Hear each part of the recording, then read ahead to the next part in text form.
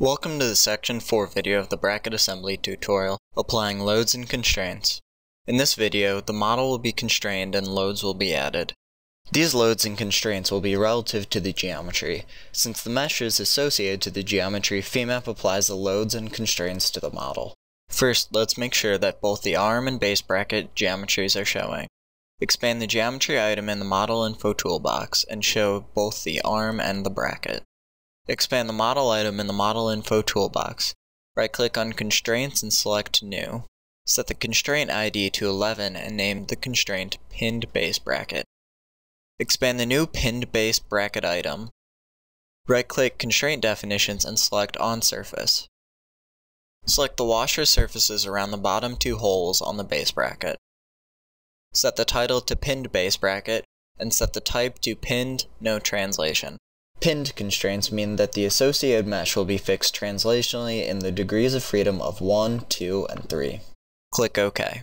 The mesh attached to these surfaces is now constrained in all three axes in regards to translation, but can still rotate. Right-click on Constraint Definitions and select On Surface. Select the unconstrained pad areas on the bottom of the base around the pinned holes. Set the title to Sliding Base. Select Arbitrary in Coordinate System, and select one Nodal Output System from the drop-down menu.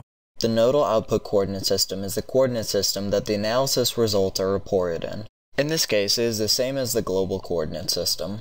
This coordinate system defines the axes that are used for constraining motion. Then check TZ, which means there will be no translation in the z-axis. Click OK. Right-click on the Loads item in the Model Info toolbox and select New. Set the ID to 11 and enter the title arm loads.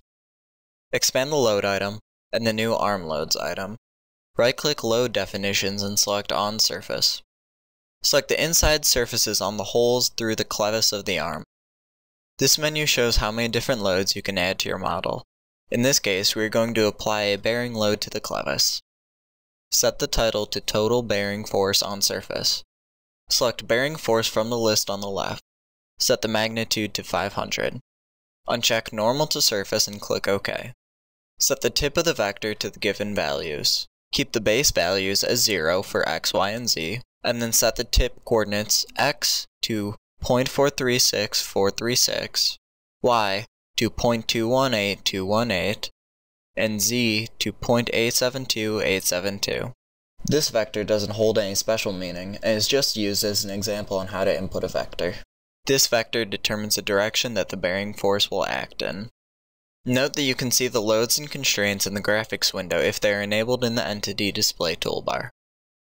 This concludes the Section 4 video of the Bracket Assembly FEMAP tutorial, applying loads and constraints.